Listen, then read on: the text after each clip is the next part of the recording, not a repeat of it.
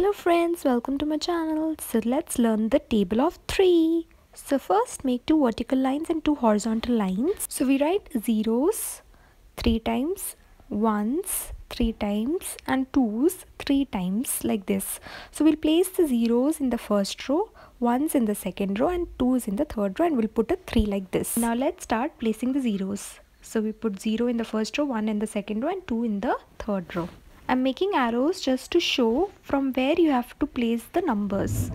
So we'll place the numbers from 1, 2, 3 like this, 4, 5, 6 like this and 7, 8, 9 like this and a 0.